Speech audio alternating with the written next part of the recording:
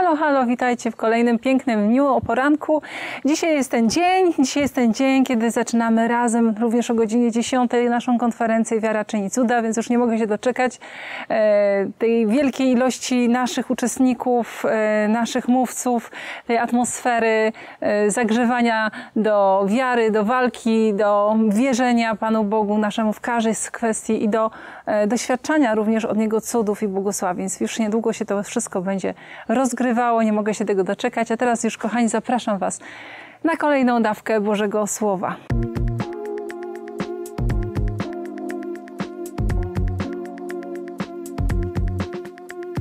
Dzisiaj przeczytamy sobie z listu do Efezjan, czwarty rozdział, od 11 do 15 wersetu.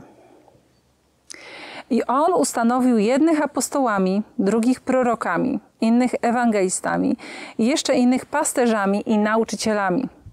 Dla przysposobienia świętych, dla dzieła posługiwania, dla budowania ciała Chrystusa, aż dojdziemy wszyscy do jedności wiary i do poznania Syna Bożego, do człowieka doskonałego, do miary dojrzałości pełni Chrystusa.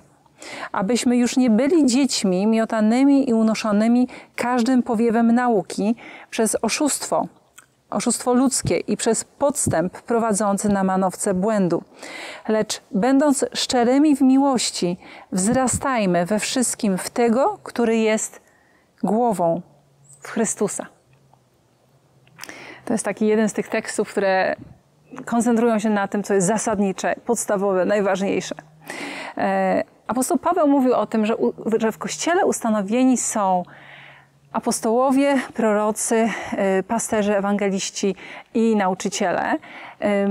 Czyli są to pewne funkcje, są pewne role, które Pan Bóg wyznaczył niektórym ludziom w ciele Chrystusa po to, żeby całe ciało wzrastało, rozwijało się, dojrzewało do tej pełni Chrystusowej, żebyśmy wszyscy stawali się, e, każdy z osobna, ale również jako zbiorowość, jako grupa, podobni do Chrystusa.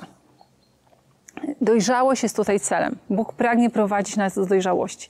To oznacza, że musimy się uczyć, musimy dać się napominać, prowadzić, dawać się angażować do pewnych aktywności. E, to jest między innymi to, co robimy na przykład w szkole pasji i wizji. E, teraz kolejny etap naszej szkoły, poziom pro nazwałam, gdzie mamy cztery moduły przez cztery miesiące, intensywna szkoła misyjna, e, gdzie koncentrujemy się na ewangelizacji, modlitwie uzdrowienie, prorokowaniu i służbie uwalniania. To wszystko ma na celu to, żeby ci, którzy skończą tą szkołę, byli wyposażeni, by służyć swojej lokalnej wspólnocie, praktyczny sposób, ponadnaturalnej mocy Ducha Świętego, tak, żeby zachodziły zmiany, tak, żeby niewierzący się nawracali, e, żeby doświadczyli uzdrowienia, uwolnienia, żeby stawali się coraz bardziej dojrzali, również przez przyjmowanie nauczania, rozumienia e, treści biblijnych e, i żeby poddawali się temu wychowaniu, które Duch Święty względem nas stosuje. E, moja szkoła się na tym się koncentruje. Tak rozumiem również moją służbę, żeby prowadzić świętych do dzieła posługiwania. Żeby święci, Boże, ci, ci, którzy się nawrócili, nie siedzieli tylko w ławkach i nie czekali na kolejną pieśń uwielbienia. Czasami im się ta pieśń nie podoba, a inna, inna im się bardziej podoba i czekają tylko, aż nabożeństwo się skończy, żeby móc pogadać przy kawie. To nie jest cel istnienia świętych Bożych. Święci są przysposabiani do tego, żeby służyć innym, żeby samemu być w tym świecie jak te światła, żeby móc nauczać, żeby móc modlić się o uzdrowienie, żeby to uzdrowienie było doświadczane przez innych ludzi, żeby doświadczali miłości Chrystusa właśnie przez świętych, przez chrześcijan, którzy się nawrócili. I, e, I to jest Boża mądrość. E, to jest oczywiście duży też temat e, związany z tą pięcioraką służbą w Kościele gdzie liderzy uzupełniają się nawzajem swoimi darami po to, żeby prowadzić innych. Jest to jednak zupełnie inny model niż ten, który zazwyczaj obserwujemy, kiedy jest tylko jeden przywódca w kościele, jeden taki celebrant, można powiedzieć, który wszystko sprawuje, wszystko prowadzi, reszta tylko na niego patrzy. E, I on, jak ten pasterz, reszta tak jak owce, No nie. Jednak w Nowym Testamencie dostrzegamy inny model.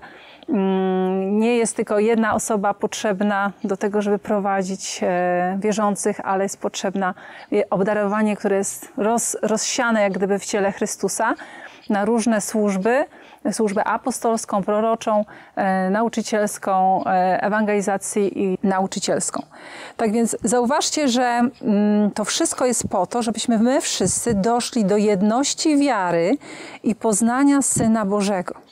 Czyli jedna rzecz to musimy umieć usługiwać innym, ale druga rzecz, mm, my musimy wewnętrznie urosnąć do takiego stopnia, że będziemy mieli jedność wiary. Wierzę, że tu nie chodzi o jedność poglądów, identyczność poglądów, jedność wiary w takim znaczeniu, że, że nasze serca biją w tym samym rytmie, tym rytmie Ducha Świętego, względem Boga, względem Chrystusa. I On nas mobilizuje, On nas zachęca do różnych aktywności. Jesteśmy w tej jedności, czyli czyli dobrze się ze sobą czujemy, szanujemy siebie nawzajem, chociaż możemy mieć zupełnie różne powołania i różne poglądy na pewne rzeczy. E, I ta jedność również prowadzi do poznania Syna Bożego. Tak? Mamy wszyscy dojść do poznania Syna Bożego. Myślę, że to jedno z drugim jest bardzo mocno sprzężone. Jedność jest związana z poznaniem Chrystusa. Im lepiej znasz Chrystusa, tym większą jedność osiągasz, że tak powiem, z, y, z innymi chrześcijanami, lepiej ich rozumiesz, e, lepiej umiesz ich kochać, umiesz z nimi współpracować, umiesz e, brać również od nich, uczyć się od nich.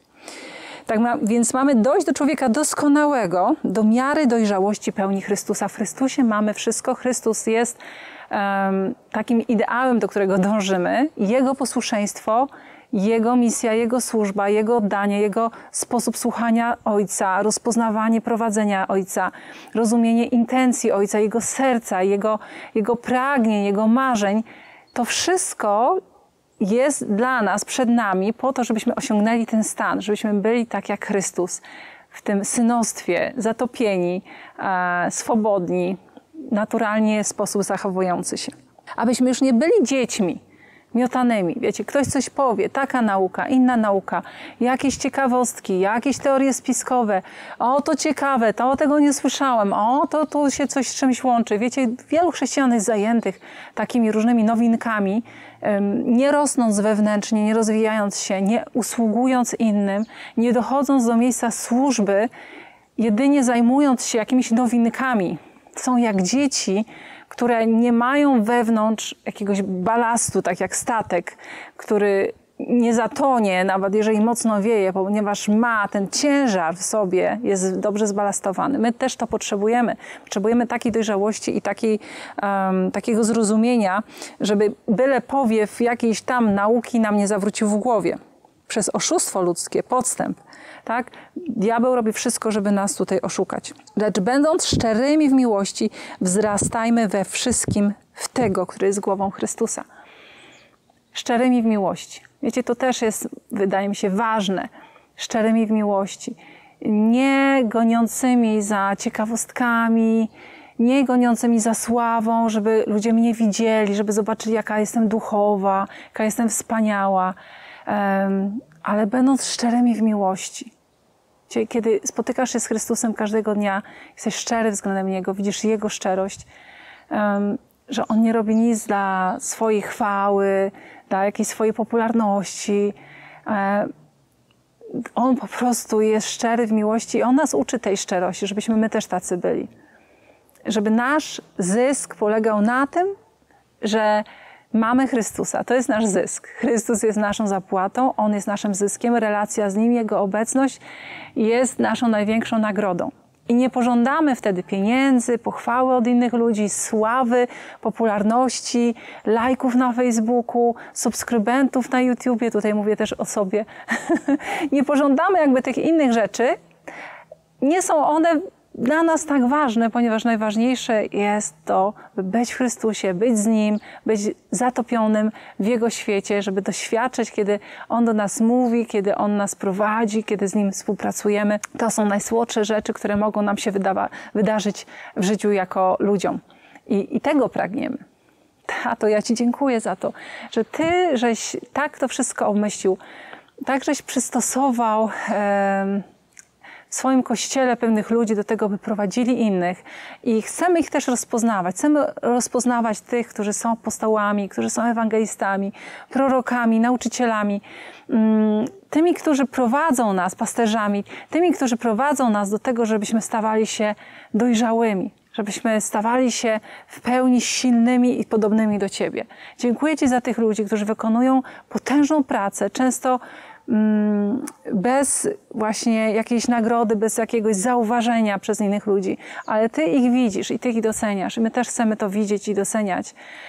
I chcemy być świadom, takimi świadomymi uczniami, którzy czerpią od innych to, co tam Ci mają najlepsze, poddając się ich autorytetowi, słuchając ich, e, naśladując ich wiarę, ponieważ my sami też chcemy urosnąć, e, być gotowi do służenia innym. Chcemy być tymi, którzy są podobni do Ciebie, którzy są tak podatni na Twój głos, na Twoje prowadzenie, e, tak ulegli względem Twojej mocy, która potężnie będzie się przez nas przejawiać, że będziemy widzieć uzdrowienia, e, będziemy widzieć e, przemianę ludzkiego życia, uwolnienie, będziemy widzieć e, te, te przełomy, które Ty chcesz przynieść w życie człowieka.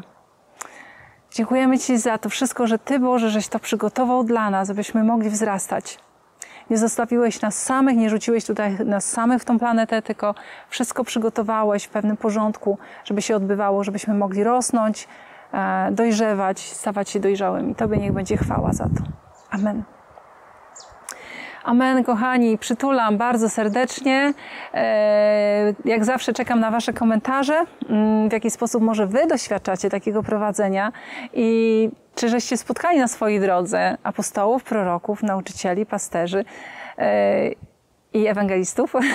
czy żeście ich spotkali, że żeście rozpoznali to, co mają w sobie i czy żeście wzięli dla swojego życia, czy dzięki temu, żeście urośli, że poddaliście się ich prowadzeniu? Proszę napiszcie, bo to jest bardzo, bardzo ciekawy temat. E, a ja już e, żegnam się z Wami i do zobaczenia jutro z Panem Bogiem. Pa, pa.